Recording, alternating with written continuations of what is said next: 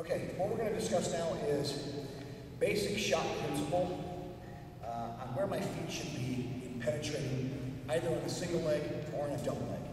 Uh, NCAA championships, the top three scoring takedowns are single leg, double leg, high crotch. Okay? You don't have to get really fancy outside of that. But understanding that those three moves are the principal scoring at a higher level of wrestling.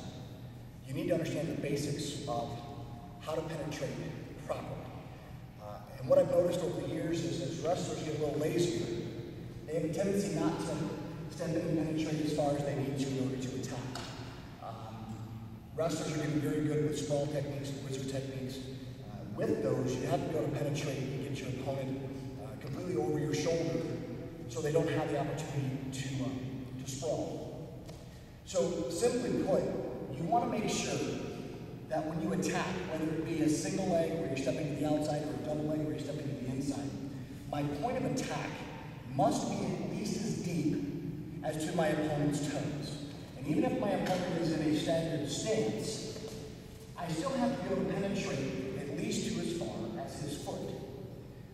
This right here doesn't give me deep enough penetration because even when I explode forward, I have not attacked penetrated deep enough for my opponent to be able to not sprawl. If I end up here, I'm exposed, my opponent can sprawl, I'm flattened out. I must step and penetrate at least as deep as to his foot. So it's here and here. I'm penetrating at least as deep to his foot. The deeper, the better. If I can move my opponent and step him in deep here, I've got to penetrate at least to as deep as his foot. Same principle on a double leg. If there's a line drawn across his toes, I have to penetrate at least to that point in order to successfully attack my target.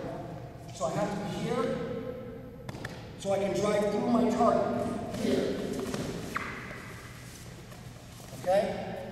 If I shorten my stance and I miss my target by not stepping deep enough, I'll be exposed, I'll be overextended, I will not have enough power to pull him in versus his sprawl. So it would be here. If I don't get close enough, I extend, I get sprawled So I must penetrate at least as deep, Mr. Clark, as to his foot. Here, here.